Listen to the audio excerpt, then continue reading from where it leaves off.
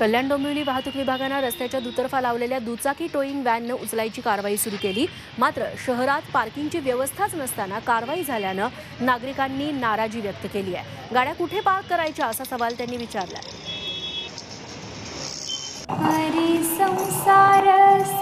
बहिणाबाईंची जात्यावरची ओवी. म्हणजे?